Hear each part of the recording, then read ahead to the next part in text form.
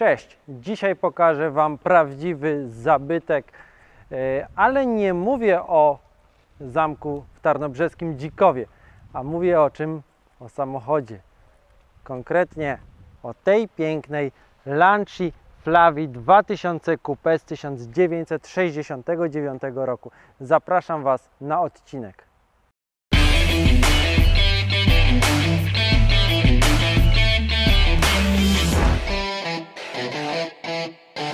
Lancia Flavia to był naprawdę wyjątkowy samochód. Powiecie, cóż takiego wyjątkowego? Fakt, zabytek pełną gębą, ale no właśnie, ten samochód chociażby z trzech powodów jest wyjątkowy. Po pierwsze, był to pierwszy włoski samochód z napędem na przednią oś. Po drugie, była to pierwsza Lancia z silnikiem przeciwsobnym, czyli tak zwanym bokserem. I po trzecie, była to pierwsza Lancia po tym, jak przejęła ją rodzina Pesonti, znanych przemysłowców, którzy dorobili się na produkcji cementu. Ale ta linia tego samochodu, czy nawet limuzyny, która startowała wcześniej, bo pierwsze Flawie to były sedany yy, wyprodukowane w 1960 roku. Natomiast ten egzemplarz jest z 69 roku i tutaj jest troszkę modernizacji. Ale nim dojdziemy do modernizacji, to właśnie chciałem Wam powiedzieć o tym, jak ten samochód został zbudowany, bo to było bardzo ważne. Przede wszystkim zrezygnowano z klasycznego układu napędowego, czyli silnika umieszczonego z przodu, napędzającego koła tylne. Tutaj ten silnik jest umieszczony wzdłużnie i jest to silnik Boxer. Boxer najpierw to były silniki 1.5, 1.8. Co ciekawe, wersja 1.8 była z wtryskiem paliwa, a w 1967 roku pojawiła się nowa generacja Lancia Flavi, Lancia Flavia 2000, wtedy zrezygnowano z wtrysku, który nie spełniał swojej roli. No cóż, taka była technologia i zbudowano samochód z silnikiem gaźnikowym, ale dwulitrowym o mocy 115 koni mechanicznych. I właśnie taki silnik mamy tutaj.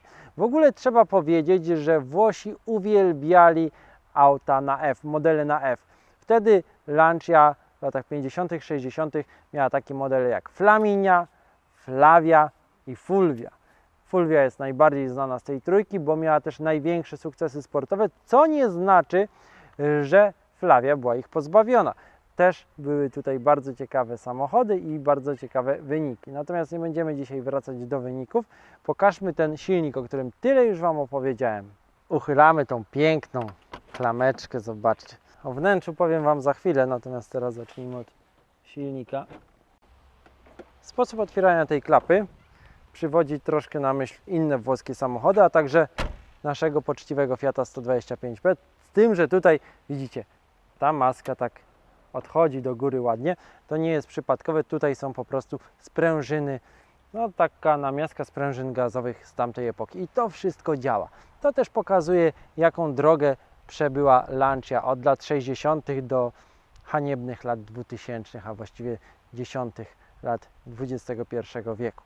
O tych latach nie będziemy mówić, chociaż pojawiła się taka karykatura jak Lancia Flavia, kabriolet zbudowany na bazie Chryslera. A, nie mówmy o tym, proszę Was. Tutaj mamy natomiast pełnowartościową Lancię, która była budowana w zakładach Pininfariny i co najważniejsze miała odpowiednie źródło napędu, bo poszukiwanie odpowiedniego źródła napędu do tego samochodu nie było rzeczą prostą.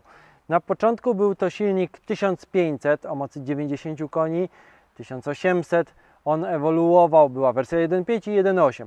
Yy, moc tych samochodów ewoluowała, ale cały czas to było niewystarczająco, zwłaszcza w przypadku motoru podstawowego. Natomiast tutaj mamy już silnik o mocy 113 koni mechanicznych, dzięki czemu zarówno jeżeli chodzi o moment obrotowy, jak i moc silnika, właściwości dynamiczne były już znacznie lepiej. Dlaczego silnik Boxer? Przede wszystkim niżej położony środek ciężkości, lepsza stabilność samochodu i druga sprawa, też ten charakterystyczny dźwięk, wysoka kultura pracy. Ten silnik był bardzo niezawodny i miał takie rozwiązanie w postaci mokrych tulei cylindrowych, także był bardzo fajny, jeżeli chodzi o remont, bo po prostu można było wyjąć te tuleje, wymienić i dalej cieszyć się eksploatacją. Jakkolwiek te samochody nie robiły jakichś wielkich przebiegów, bo mamy do czynienia z ekskluzywnym coupé, a nie z autem, które może pracować jako taksówka. Spójrzcie jeszcze właśnie na ten silnik. On jest umieszczony przed przednią osią. Mamy tutaj dwugardzielowy gaźnik Solexa.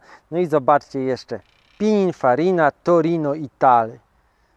Tutaj mamy piękne tabliczki znamionowe, 698 numer seryjny. Także możemy powiedzieć, że pod tą nieco zachowawczą linią nadwozia było naprawdę dużo nowoczesnej techniki. A jeżeli chodzi o samochód, który mamy tutaj koło mnie, to jest Lancia Flavia 2000 Coupe, bo tych Flavii Coupe było trochę więcej. Była też Flavia Sport Zagato z zupełnie innym nadwoziem. To była taka mała firma karoseryjna Zagato, bardzo znana i bardzo utytułowana. Natomiast tutaj mamy wersję seryjną, którą budowano w zakładach Pininfariny.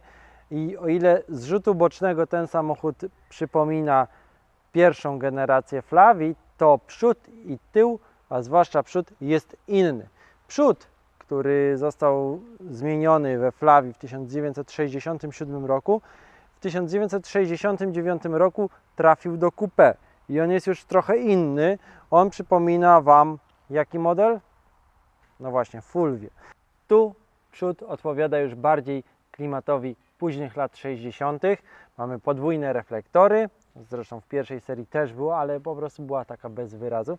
Natomiast ten przód przypomina, tak jak powiedziałem, mniejszą fulwię i nawet ten grill jest adaptowany z mniejszego modelu. Troszkę takiej zadziorności nabrał ten samochód. Tu mamy kierunkowskazy w zderzakach, jest takie dziwne wycięcie. Wydawałoby się, że troszkę nie licuje z tym samochodem, ale wszystkie takie miały. Bardzo ładnie ten samochód wygląda w tym atramentowym niebieskim kolorze, z tymi chromami, z tymi lusterkami, które są no, bardzo designerskie, ale nic w nich nie widać, to inna sprawa. Tutaj akurat forma przerosła treść. Mamy piękny łuk. Zobaczcie, ta część tego samochodu, czyli od słupka A do słupka C, jakby korpus tego nadwozia, bardzo przypomina mi Ferrari 250 GTE, ale to nie jest takie przypadkowe, ponieważ Ferrari 250 GTE i Lancia były budowane w tych samych zakładach Pininfariny i przez Pininfarinę były stylizowane, w związku z czym naturalnym jest, że pewne elementy, pewne idee stylistyczne się nawzajem przenikały. Zwłaszcza, że Lancia wtedy naprawdę była w dobrej formie. To były czasy, kiedy jeszcze Fiat nie położył na niej swojej pazernej ręki i naprawdę tworzyli wspaniałe dzieła sztuki na kołach, można tak powiedzieć. Zgodzicie się czy nie? Napiszcie w komentarzach. Natomiast teraz obejrzyjmy jeszcze tył, który jest najpiękniejszy, zwieńczeniem dzieła. Zobaczcie, jak pięknie to wygląda. To nie jest kappa coupé, z całym szacunkiem. Tutaj naprawdę Włosi użyli całego swojego geniuszu.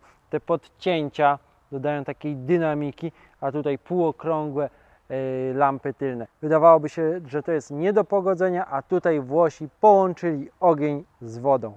No i te wszechobecne chromowane detale, tutaj napis Lancia Flavia, on był dostępny tylko w ostatniej serii do 70 roku, bo w 71 roku zadebiutowała Lancia 2000 i to był samochód owszem podobny, ale już trochę zubożony, już nie było tyle tego smaku co w poprzedniku, czyli w aucie, który dzisiaj Wam pokazuję. Mamy tutaj naprawdę dobrze wykończone auto. Zobaczcie, tutaj jest atłasowa wykładzina, nie żadna goła blacha. No i duże koło zapasowe. Kolejny włoski akcent, proszę. Lambretta, torba na kosmetyki. Fajnie to wygląda. No i tutaj taki kolejny smaczek podkreślający unikatowość tego wozu. To jest numer nadwozia wybity tutaj. Widzicie? Świetna sprawa. Bagażnik jest bardzo obszerny, tym bardziej, że przecież mamy napęd na oś przednią, w związku z czym on nie jest płytszy z uwagi na konieczność zmieszczenia tutaj chociażby tylnego mechanizmu różnicowego. Nie, tutaj jest po prostu duży, głęboki bagażnik i nawet włoska mafia mogłaby nim jeździć i realizować wyroki. Czy jeździła? Tego nie wiem. No i wnętrze. Bardzo duże te drzwi, no ale mamy wersję coupé, więc te drzwi muszą być dłuższe. Uważajcie na parkingach. W ogóle jeszcze przed tym, nim zasiądziemy do tego wnętrza, to tutaj jest też dużo podobieństwa z Ferrari. Tak, nie mówię tego dlatego, że właściciel stoi obok, ale faktycznie, jeżeli porównacie sobie zdjęcie Ferrari 250 GTE i Lanci Flavi Coupe, no to jest tutaj naprawdę te fotele, nie wiem czy są identyczne, ale są bardzo podobne. Pięknie wyglądają. Jak się w nich jeździ, o tym powiemy Wam za chwilę. Na razie jeszcze skupmy się troszkę na designie wnętrza, w jakich warunkach podróżowali ludzie jeżdżący tym modelem samochodu. Tutaj też znajdziemy sporo smaczków takich typowych włoskich, pięknych.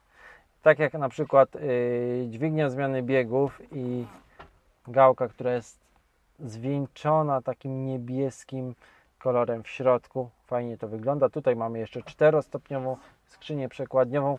Yy, W modelu 2000 już była piątka, ale ten model się już troszeczkę różnił. Miał też wtrysk paliwa, nieco większą moc. Ale czy miał więcej stylu? Tego bym nie powiedział. Kierownica też bardzo charakterystyczna dla włoskich samochodów z lat 60. i 70. Takie tutaj przedziurawienia. Podobne e, elementy, podobny zabieg stylistyczny widać było we Fiacie 130 Coupe, którego możecie obejrzeć na moim kanale. Liczniki, prędkościomierz do 220 km na godzinę jest wyskalowany. Prędkość maksymalna tego samochodu to aż 180 km na godzinę, bo nie był zbyt ciężki. Ważył około 1100 kg, więc naprawdę powinien się ładnie rozpędzać. Poziom paliwa, temperatura wody, temperatura oleju i oczywiście obrotomierz. Obroty są bardzo ważne. Yy, maksymalny moment obrotowy to jest 180 Nm rozwijane przy 4200 obrotów na minutę, natomiast moc maksymalna jest rozwijana przy 5200 obrotach na minutę i wynosi 113, a niektóre źródła mówią, że nawet 115 koni mechanicznych. Podwójne popielniczki, zobaczcie. O, tak się ludzie bawili.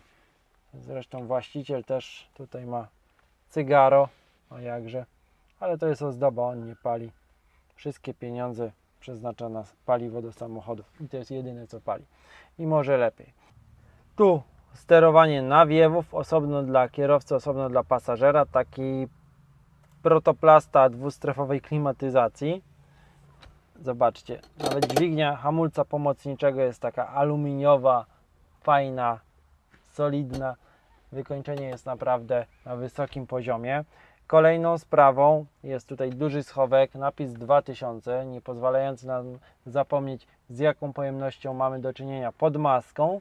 I coś, co mi się bardzo podoba, boczki, zobaczcie jak fajnie tutaj są ryflowane, tutaj jest głośnik pod tym i klamka, która przypomina mi czechosłowacką konstrukcję w postaci Tatry 613, czy chociażby takiej bardziej plebejskiej y, Szkody 110R. No i podsufitka, element, któremu zwykle nie poświęcam zbyt wiele uwagi, bo jest to element traktowany także przez producentów po macoszemu, zwłaszcza w małym Fiacie, gdzie pożałowali nawet na dobry klej i zawsze ona odpadała. Tutaj nie tylko nie odpada, ale zobaczcie jak ona jest przeszyta, jest zrobiona, wykonana ze skóry, tak jak Ferrari z tamtych czasów. Naprawdę to budzi podziw. Te daszki przeciwsłoneczne też pięknie się zachowały, mięciutkie. Gąbka jest oryginalna. A widzicie, tutaj mamy zgrzewy, więc nie ma mowy o takiej łatwej wymianie tego. Chyba, że znacie jakiś pomysł, to chętnie go usłyszę, bo mam taki problem e, z Fiatem 125P. Tam niestety wypadają gąbki i ciężko je wymienić. Cały czas się kruszą i spodnie są cały czas po prostu brudne. No dobrze, nie będziemy teraz mówić jednak o problemach e, użytkowników Fiatów 125P. Zobaczmy ile miejsca jest z tyłu tego samochodu. Zobaczcie jeszcze te dźwigienki. Ach, to jest to. Jak to fajnie działa wszystko po tylu latach. Spróbujmy znaleźć miejsce na tylnej kanapie. Za jakie grzechy chciałoby się powiedzieć? Miejsca jest tutaj naprawdę niewiele z tyłu. No, sorry, ale tak tutaj po prostu jest. To jest jednak auto dla dwóch osób, a tutaj raczej siedział najwyżej piesek albo torebka od Gucci'ego. A za to może to nie jest torebka od Gucci'ego, ale też bardzo fajny element. Ręczniczek z logiem Lancia, takim trójwymiarowym. Kolejną rzeczą, którą tutaj znajdziecie, to jest lampka oświetlająca wnętrze. O, taka fajna. Rączka. Gdyby kierowca jechał za szybko i by Was miotało, no to możecie się czegoś przytrzymać. I co ciekawe, uchylne tylne szyby. Niektórzy pamiętają, że taką opcję można było też dokupić do Fiata 126P. No ale porównywanie Lanci Flavi Coupé z maluchem jest co najmniej nie na miejscu. Bohaterka naszego dzisiejszego odcinka to samochód Marka. Marka kojarzycie doskonale, jest właścicielem wielu samochodów, które już były u mnie na kanale, w tym wielu włoskich, choć nie tylko. A to jest jego, jak sam mówi, perła w kolekcji. Dzięki Marku za pokazanie tego samochodu. No i może porozmawiajmy tak z perspektywy właściciela, jak się żyje z taką Lancią dzisiaj, jaka jest historia, jak trafiła do Ciebie, bo przecież to jest jedyny egzemplarz w Polsce z tego, co nam wiadomo. Tak, e, jeżeli mówimy o słowie Flavia, to rzeczywiście jest to jedyna, z tego co wiem, natomiast kilka Lanci 2000 Coupe jest gdzieś tam w trakcie remontów, które jeszcze z tego co wiem nie jeżdżą, ale bardzo się ucieszę, jak spotkam siostrę gdzieś na zlocie albo ktoś się pochwali, że już ma gotową jeżdżącą. E, Ten samochód trafił do mnie od kolekcjonera z Niemiec, z Norymbergi. Zresztą z tej kolekcji pochodziła też Lancia Beta HPE, którą ogrywaliśmy w tamtym roku. Pojechałem po Lancie HPE, znalazłem możliwość odkupienia jeszcze jednego auta, bo tam były cuda, jak zawsze wspominam. Tam były same kolekcjonerskie perełki wszelkiego rodzaju, Alfa Romeo, Lancia i tak dalej, Zagato, Bertone, GTV i tak dalej. E, Natomiast ten samochód był do wyciągnięcia z tej kolekcji i nie zastanawiałem się, tym bardziej, że kupując dwa auta starałem się tam wynegocjować jak najlepszą cenę dla siebie. Stan techniczny, tak jak widzicie Państwo, wnętrze, mechanikę, zostało to w nienaruszonym stanie, natomiast musiałem e, położyć od nowa lakier, dlatego że ten samochód zanim od 2001 roku znajdował się w tej kolekcji w Norymberdze, wcześniej znajdował się w kolekcji w Szwecji. I drogą tam różnych dokumentów, dedukcji, różnych tam historii, które e, posiadłem, dowiedziałem się, że 70., na przełomie 80. lat ten samochód przeszedł jakąś rewitalizację, zresztą to było widać tam przy czyszczeniu i był przemalowany na kolor jasnego błękitu. I ten jasny błękit, no może nie był brzydki, ale nie był to kolor fabryczny. Po różnych kodach doszliśmy, że to jest kolor z palety glazuri, którym posługiwała się Lancia w tamtych latach. No i przy okazji należało ten samochód przywrócić do tego lakieru. Został rozebrany, wszystkie szyby, drzwi, tapicerki, światła, uszczelki, wszystkie dekory. E, okazało się, że jest wszystko bardzo zdrowe, nie ma nigdzie problemów z korozją. Minimalne jakieś tam zarzewia na dole drzwi, czy tutaj z tyłu za kołem, od razu żeśmy to opanowali. E, Natomiast mechanicznie nie zdradzał żadnych potrzeb napraw. Samochód ma w tej chwili 118 tysięcy, wtedy miał 115 tysięcy. E, W historii swojej do Niemiec trafił z przebiegiem 91 tysięcy w 2001 roku, więc tak jakby miał szczęście, że to był samochód, który ciągle znajdował się w jakichś tam kolekcjach. E, No, urzekł mnie też ten stan wnętrza, e, urzekła mnie linia tego auta. E, Jest to taka jak ja zawsze powtarzam, rasowa, gorąca Włoszka. Ja ją nazywam taką Klaudią Cardinale na kołach. Jest smukła, jest ponętna, a Klaudia Cardinale była jedną z użytkowniczek tego modelu. Powiedz mi, masz już spore doświadczenie eksploatacyjne w zakresie samochodów włoskich.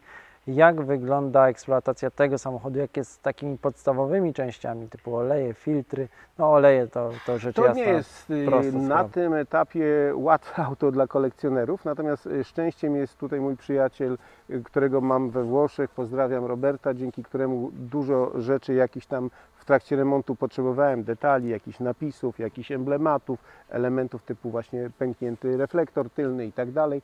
Z tym nie jest łatwo, dlatego że tych aut było bardzo, ale to bardzo mało wyprodukowanych, bo łącznie wersja przedliftowa, poliftowa, z tego co mówią źródła, to jest około 4000. Różnych źródeł się możemy czepiać. Mój egzemplarz jest numerem 698. E, Natomiast pojawiają się gdzieś tam we Francji, w Holandii poszczególne pojedyncze rzeczy i o to jest trudno. Natomiast te rzeczy, które pytasz eksploatacyjnie, typu łożyska, filtry, e, okładziny hamulcowe czy takie rzeczy, no to to jest łatwe, bo e, wersja Berlina bazowała na takim samym silniku, na takim samym zawieszeniu. Ciekawostką są hamulce, bo tu są hamulce systemu Dunlop i są idealnie skopiowaną jak gdyby pomysłem i odzwierciedleniem tego, co ma Jaguar E-Type i klocki hamulcowe E-Type'a i klocki hamulcowe tej Lancia są wspólne. E, rozwiązanie hamulców e, w systemie Dunlop zdradza jego potencjał. Oczywiście cztery tarcze, e, bardzo mocne hamulce, bardzo specyficzne, pracujące hamulce z tym takim sykiem odpowietrzenia. No i jeszcze jedna ciekawostka, na tylnych tarczach dodatkowe zaciski i dodatkowa para klocków dla hamulca ręcznego. Czyli hamulec ręczny ma oddzielne zaciski i oddzielne klocki i nie korzysta z głównego zacisku. E, Regenerowałem e, hamulce, regenerowałem ze względu na wrzery, e, dlatego że już pojawiały się na cylinderkach wrzery i tutaj firma specjalizująca się bardzo w takich rzeczach hydraulicznych, obróbce takich precyzyjnych rzeczy, firma z Mielca pomogła i rzeczywiście przed sezonem tym kolejnym przeszły regenerację hamulce. No bo tak naprawdę w tej chwili jesteśmy w trakcie drugiego sezonu, gdzie już mogę tym samochodem się chwalić, jeździć w dalsze trasy, jeździć na dalsze zloty, a nie tylko tak jak w pierwszym sezonie nie wypuszczałem się nim za daleko, trochę go tak objeżdżałem, macałem jeszcze. To był taki sezon na oblatywanie. Mówimy o zlotach i widać, że jesteś laureatem kilku nagród, która jest najbardziej prestiżowa. E, nie można selekcjonować, która jest bardziej, bo e, każda cieszy i każda w jakiś sposób e, daje poczucie satysfakcji, jak gdyby ukoronowania swoich starań i w reanimacji, w, re, w rewitalizacji takiego auta. Natomiast mi się wydaje, że coś, co mnie może najbardziej zaskoczyło, że zdobyłem główną nagrodę i to w jakiej obsadzie się tam znalazłem, z jakimi autami włoskimi, bo to było stricte dla samochodów włoskich e, i to wszystko było, nie wiem, Lamborghini, Maserati, Ferrari, no i tylko dwie Lancie. Pozdrawiam mojego kolegę e, który był Lancią Deltą. Dawid e, wie o czym mówię. I generalnie tam moja Lancia była drugą oprócz Dawida Lancią na zlocie i taką piękną nagrodę otrzymałem z pięknym napisem La migliore macchina da competizione i to są klasyczne nowe Włochy 2022 i to właśnie impreza poświęcona klasycznym włoskim samochodom, która się odbywa w Warszawie. E, po prostu z racji tak dużej konkurencji nie spodziewałem się, że zostanę tam nagrodzony.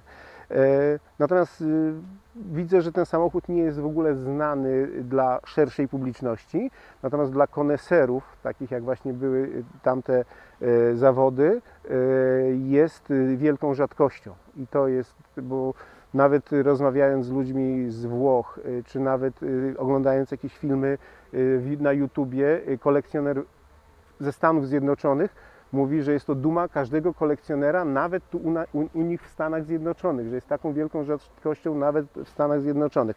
No to jeżeli się ogląda taki film, no i człowiek tego słucha, no to myślę, Holender, jasny, chyba fajne auto mam. Gratuluję w takim razie samochodu. Życzę, żeby jeszcze nie jedna perła zagościła u Ciebie w garażu i, co naturalne, u mnie na kanale. Dzięki Polecam się. i do zobaczenia. Ten samochód jest bardzo nietypowy i to widać nawet przy odpalaniu go, widzicie? Przekręciłem stacyjkę i teraz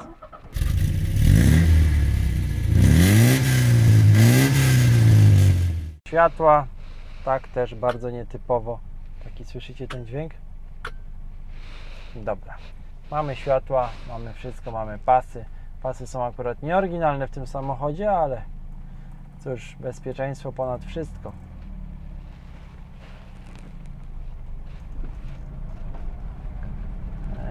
Miałem tą przyjemność, że tym autem już troszkę pojeździłem wcześniej, bo byliśmy nim nawet na zlocie w Lubaczowie, więc będzie mi też na pewno łatwiej Wam opowiedzieć o wrażeniach z jazdy. I do Lanci mam czuję duży sentyment, ponieważ miałem już w swoim życiu kilka takich aut. Co prawda nie Flavie Coupé czy Flavie 2000 Coupé. Miałem modele znacznie nowsze, ale pewne cechy są charakterystyczne dla tej marki, mimo że już w latach 90., bo miałem kapy, jeździłem dużo Librą, to już były zupełnie inne samochody, ale jednak niektóre elementy tutaj akurat współgrały i tak naprawdę było z fotelami. Fotele w Lanciach zawsze są pięknie wystylizowane, tutaj przypominają te z Ferrari, naprawdę, może są nawet identyczne, nie wiem, nie znam się aż tak na Ferrari, bo na Ferrari trzeba się znać jak na winach. Natomiast one, znalezienie w nich dobrej pozycji zajmuje dobrą chwilę. Naprawdę kilkadziesiąt kilometrów trzeba się przejechać tym samochodem, żeby odpowiednio się w nich ułożyć. I nie chodzi o to, że są niewygodne, ale po prostu pozycja za kierownicą we wszystkich lanciach, które miałem, to była dosyć specyficzna. Bardzo przyjemnie się jedzie tym samochodem, jest bardzo oszklony, przeszklony. Zresztą no to jest taka cecha charakterystyczna dla aut z lat 60. czy 70., że tu może bezpieczeństwo trochę na tym cierpiało, ale przecież nikt nie zamierza się rozbijać.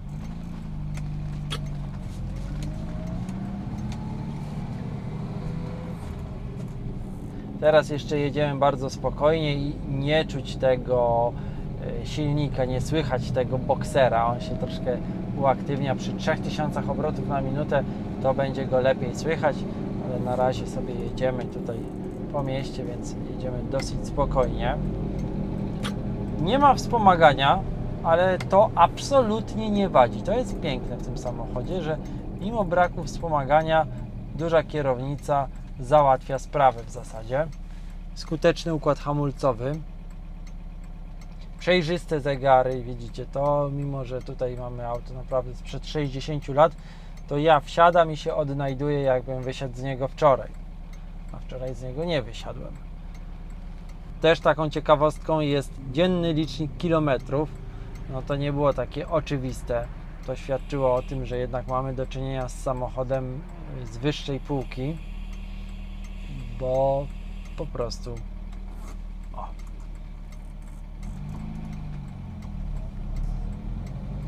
jedziemy.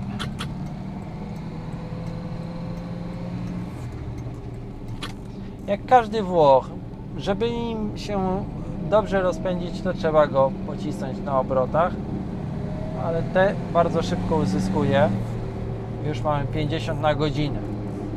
Bardzo precyzyjnie działająca skrzynia biegów. To jest po prostu piękne w tym samochodzie. Eee, Te biegi wskakują.